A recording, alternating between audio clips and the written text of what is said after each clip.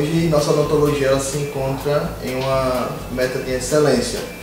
São mais de 300 procedimentos realizados, promoção e prevenção em escolas municipais e atendimentos diferenciados como pré-natal, odontológico e a pacientes com necessidades especiais. Assim, dando saúde bucal a todos e um bem-estar ao paciente. Isso tudo graças ao prefeito Vinícius Lima.